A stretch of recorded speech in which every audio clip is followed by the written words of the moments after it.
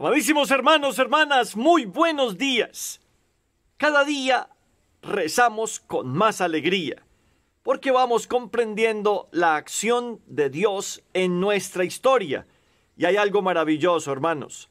Aprendemos a leer nuestra historia con los ojos de la fe. Por eso entremos en estos salmos conscientes que son las palabras que Dios mismo quiere escuchar y que en una sola voz en la Iglesia Católica Universal estamos estamos rezando las mismas palabras. Es maravilloso. Señor, abre mis labios y mi boca proclamará tu alabanza. Entrad en la presencia del Señor con aclamaciones. Sabed que el Señor es Dios, que Él nos hizo y somos suyos, su pueblo y ovejas de su rebaño. Entrad en su presencia con aclamaciones. Entrad por sus puertas con acción de gracias, por sus atrios con himnos, dándole gracias y bendiciendo su nombre. Entrad en la presencia del Señor con aclamaciones. El Señor es bueno, su misericordia es eterna, su fidelidad por todas las edades. Gloria al Padre y al Hijo y al Espíritu Santo, como era en el principio, ahora y siempre, por los siglos de los siglos. Amén. Entrad en la presencia del Señor con aclamaciones. Señor, tú me llamaste para ser instrumento de tu gracia, para anunciar la buena nueva, para sanar las almas, instrumento de paz y de justicia, pregonero de todas tus palabras, agua para calmar la sed hiriente, mano que bendice y que ama. Señor, tú me llamaste para curar los corazones heridos, para gritar en medio de las plazas que el amor está vivo, para sacar del sueño a los que duermen y, va y liberar al cautivo.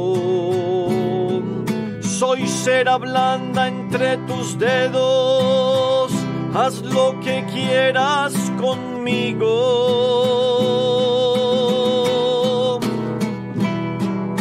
Señor, tú me llamaste para salvar al mundo ya cansado, para amar a los hombres que tu Padre me diste como hermanos. Señor, me quieres para abolir las guerras y aliviar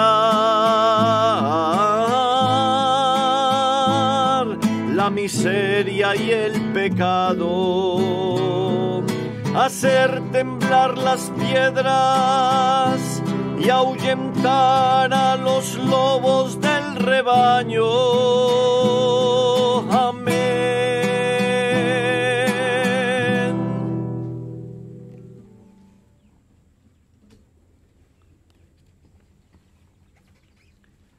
Despierta tu poder, Señor, y ven a salvarnos. Con el Salmo 79, como lo cantábamos en el himno, que esta viña a la cual el ser humano le ha prendido fuego, reciba la visita del Señor a través también de nuestro testimonio, de nuestra palabra, que no es nuestra, es del Señor, y podamos entrar en una restauración por la Pascua de Cristo y rezar con Cristo en este salmo es que podamos alcanzar la nueva vida. Por eso, hermanos, recemos con toda el alma. Pastor de Israel, escucha. Tú que guías a José como a un rebaño, tú que te sientas sobre querubines resplandece, ante Efraín, Benjamín y Manasés, despierta tu poder y ven a salvarnos. Oh Dios, restauranos, que brille tu rostro y nos salve. Señor Dios de los ejércitos, ¿hasta cuándo estarás airado mientras tu pueblo te suplica? Le diste a comer llanto, a beber lágrimas a tragos. Nos entregaste a las disputas de nuestros vecinos, nuestros enemigos se burlan de nosotros. Dios de los ejércitos, restauranos, que brille tu rostro y nos salve. Sacaste una vid de Egipto, expulsaste a los gentiles y la trasplantaste. Le preparaste el terreno y echó raíces hasta llenar el país. Su sombra cubría las montañas y sus pámpanos los cedros altísimos. Extendió sus sarmientos hasta el mar y sus brotes hasta el gran río. ¿Por qué has derribado su cerca para que la saqueen los viandantes, la pisoteen los jabalíes y se la coman las alimañas?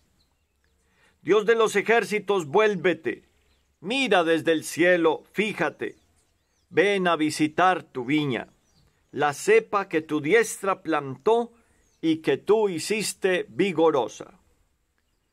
La han talado y le han prendido fuego. Con un bramido hazlos perecer. Que tu mano proteja a tu escogido, al hombre que tú fortaleciste. No nos alejaremos de ti. Danos vida para que invoquemos tu nombre. Señor Dios de los ejércitos, restauranos, que brille tu rostro y nos salve. Gloria al Padre y al Hijo y al Espíritu Santo, como era en el principio, ahora y siempre, por los siglos de los siglos. Amén. Despierta tu poder, Señor, y ven a salvarnos.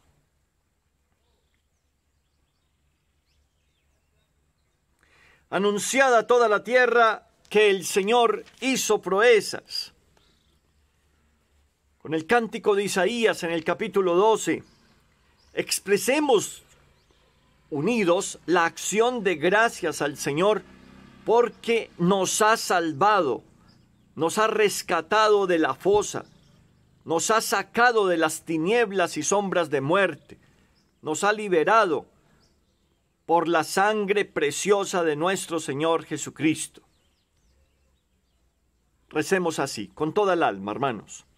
Te doy gracias, Señor, porque estabas airado contra mí, pero has cesado tu ira y me has consolado. Él es mi Dios y Salvador. Confiaré y no temeré, porque mi fuerza y mi poder es el Señor, Él fue mi salvación. Y sacaréis aguas con gozo de las fuentes de la salvación. Aquel día diréis, Dad gracias al Señor, invocad su nombre, contad a los pueblos sus hazañas, proclamad que su nombre es excelso. Tañed para el Señor que hizo proezas, anunciadlas a toda la tierra, gritad jubilosos habitantes de Sión, qué grande es en medio de ti el Santo de Israel. Gloria al Padre y al Hijo y al Espíritu Santo, como era en el principio, ahora y siempre, por los siglos de los siglos. Amén. Anunciada a toda la tierra que el Señor hizo proezas.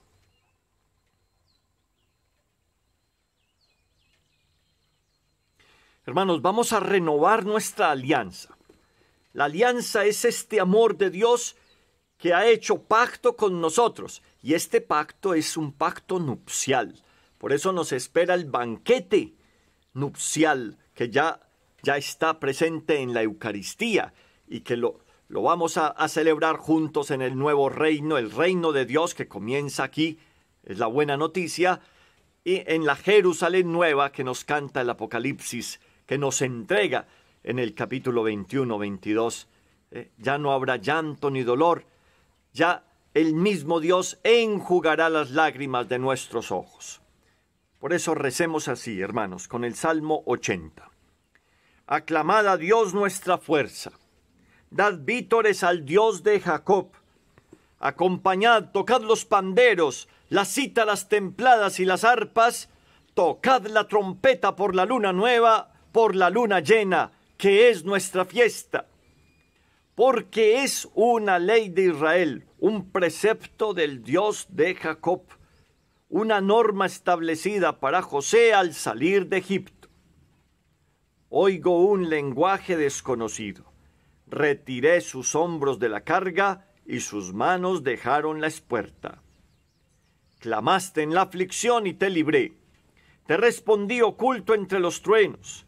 Te puse a prueba junto a la fuente de Meribá Escucha, pueblo mío, doy testimonio contra ti. Ojalá me escuchases, Israel. No tendrás un Dios extraño, no adorarás un Dios extranjero. Yo soy el Señor Dios tuyo, que te saqué del país de Egipto. Abre tu boca y yo la saciaré. Pero mi pueblo no escuchó mi voz. Israel no quiso obedecer.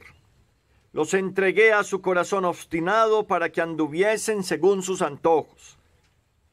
Ojalá me escuchase mi pueblo y caminase Israel por mi camino. En un momento humillaría a sus enemigos y volvería mi mano contra sus adversarios. Los que aborrecen al Señor te adularían, y su suerte quedaría fijada te alimentaría con flor de harina, te saciaría con miel silvestre. Gloria al Padre y al Hijo y al Espíritu Santo, como era en el principio, ahora y siempre, por los siglos de los siglos. Amén. Aclamad a Dios nuestra fuerza.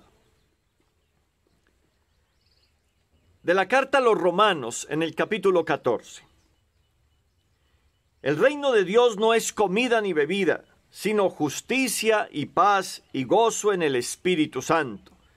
Pues el que en esto sirve a Cristo es grato a Dios y acepto a los hombres.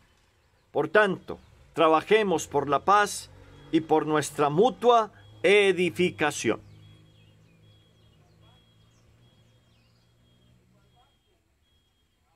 Todos los días pedimos en la oración que Jesús nos ha enseñado, Padre, venga tu reino, porque el reino de Dios es quien vive como hijo del reino, obteniendo la felicidad por la sangre, por el cuerpo y la sangre de Cristo. Es el amor mutuo que transforma la vida. Ahí no nos dejamos transformar por el mundo presente, sino que al contrario, con los criterios del Evangelio, impregnamos los lugares donde nos encontramos. En la familia, en el trabajo, en el estudio, donde estamos. Los demás ven en nosotros que nuestra manera de vivir es nueva, porque dentro de nosotros está la buena noticia, el Evangelio, Jesucristo resucitado. Ahí está nuestra misión, hermanos. Por eso el reino de Dios es justicia, paz y gozo en el Espíritu Santo. Digamos juntos, velando medito en ti, Señor, porque fuiste mi auxilio, medito en ti, Señor. Gloria al Padre y al Hijo y al Espíritu Santo, velando medito en ti, Señor. Anuncia, Señor, la salvación a tu pueblo y perdónanos nuestros pecados. Bendito sea el Señor Dios de Israel, porque ha visitado y redimido a su pueblo, suscitándonos una fuerza de salvación en la casa de David su siervo, según lo había predicho desde antiguo por boca de sus santos profetas. Es la salvación que nos libra de nuestros enemigos y de la mano de todos los que nos odian. Ha realizado así la misericordia que tuvo con nuestros padres, recordando su santa alianza y el juramento que juró a nuestro padre Abraham para concedernos que libres de temor, arrancados de la mano de los enemigos, les sirvamos con santidad y justicia en su presencia todos nuestros días. Y a ti niño te llamarán profeta del Altísimo, porque irás delante del Señor a preparar sus caminos, anunciando a su pueblo la salvación, el perdón de sus pecados. Por la entrañable misericordia de nuestro Dios, nos visitará el sol que nace de lo alto, para iluminar a los que viven en tiniebla y en sombra de muerte, para guiar nuestros pasos por el camino de la paz. Gloria al Padre y al Hijo y al Espíritu Santo, como era en el principio, ahora y siempre, por los siglos de los siglos. Amén. Anuncia, Señor, la salvación a tu pueblo, y perdónanos nuestros pecados. Bendigamos a Dios nuestro Padre, que mira siempre con amor a sus hijos y nunca desatiende sus súplicas. Y digámosle con humildad, ilumínanos Señor. Te damos gracias Señor porque nos has iluminado con la luz de Jesucristo. Que esta claridad ilumine hoy todos nuestros actos. Ilumínanos Señor. Que tu sabiduría nos dirija en nuestra jornada así andaremos por sendas de vida nueva. Ilumínanos, Señor. Ayúdanos a superar con fortaleza las adversidades y haz que te sirvamos con generosidad de espíritu. Ilumínanos, Señor. Dirige y santifica los pensamientos, palabras y obras de nuestro día y danos un espíritu dócil a tus inspiraciones. Ilumínanos, Señor. Bendice a nuestra iglesia, a nuestros laicos, sus familias, sus sufrimientos, sus angustias. Te pido que los sostengas hoy en la fe, que les des firmeza para dar testimonio en medio de un mundo hostil, indiferente, secularizado. Da la fortaleza a nuestros diáconos y sus familias, a nuestros religiosos y religiosas, a nosotros sacerdotes, aumentanos el celo evangelizador el ardor apostólico, con olor a oveja. A nuestros obispos en sus diócesis y arquidiócesis, bendícelos. A nuestros cardenales, al Papa Francisco. Que la iglesia sea el recinto de paz, de amor, de verdad, de libertad y de gracia, donde todos encuentren un motivo para seguir esperando. Ilumínanos, Señor. Presenta al Señor la súplica que tengas en este momento en tu corazón.